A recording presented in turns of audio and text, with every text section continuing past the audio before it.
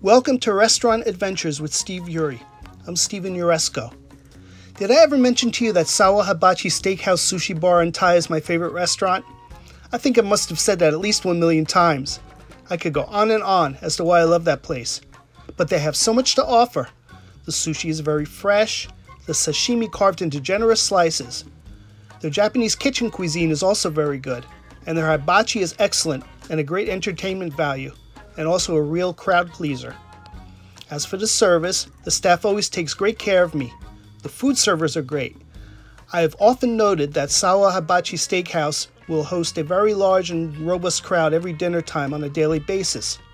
Their dinner menus are not particularly innovative or exotic, but they serve basic crowd pleasing sushi, Japanese, and Thai fare. And it is apparent that by the size of the nightly crowds that they are doing something very right.